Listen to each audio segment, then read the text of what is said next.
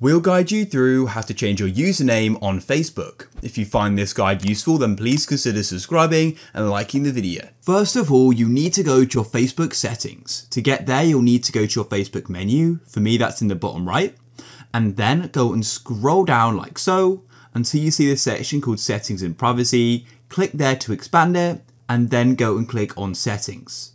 Then you need to go to your account center, which is at the top of your settings. So just click on that area there then you need to click on profiles at the top of account center and you can then see your different profiles. I've just got one, but if you've got multiple, make sure you click the right one.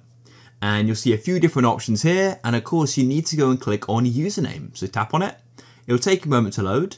And then what you can do is go and change your username. It does say changing your username will also change your Facebook timeline address.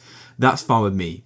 So for example, I may want my username to be Rob Tucker Guide Realm, just like that and then it will go and see if it's available. If it is available, you can then press done and press done again and it's then going to go and save it and that's it. You've now gone and updated your username. And just to show you it's changed, let me come out of the account center.